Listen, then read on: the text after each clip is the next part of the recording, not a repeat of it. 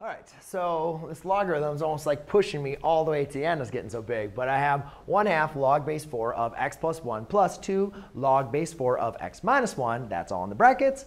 Plus 6 log base 4 of x. So remember, when plan you know, order of operations, always do inside our parentheses first.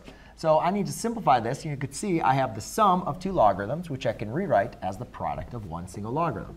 So I have L, uh, 1 half a log base 4 of x plus 1 times x minus 1 plus 6 log base 4 of x.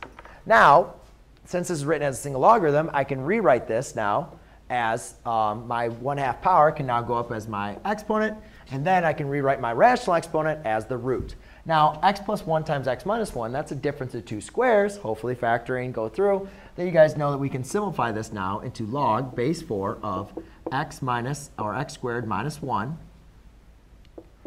raised to the 1 half power plus, now I'm going to take the 6 and bring it up top, plus log base 4 of x raised to the 6th. Now again, remember, you can see here, now I have two logarithms, and I'm dealing with the, the sum of the two logarithms, so I can rewrite that as the product. But before I do that, I'm going to rewrite that as 1 half. So that'd be log base 4 of the square root of x squared minus 1, which you cannot simplify, times x to the 6, which is outside of the square root. So there you go, ladies and gentlemen. That is how you condense a uh, logarithmic expression into one single expression. Thanks.